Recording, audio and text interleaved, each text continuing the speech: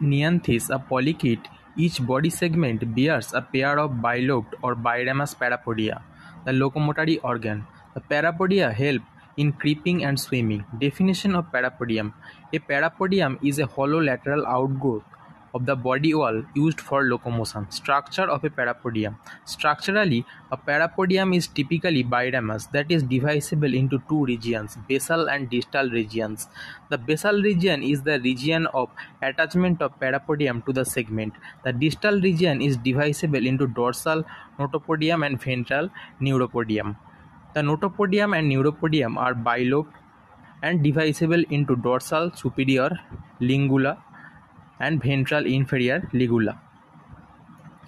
The notopodium bears on its dorsal side a slender tentacular appendage known as dorsal serous, while the neuropodium bears a similar appendage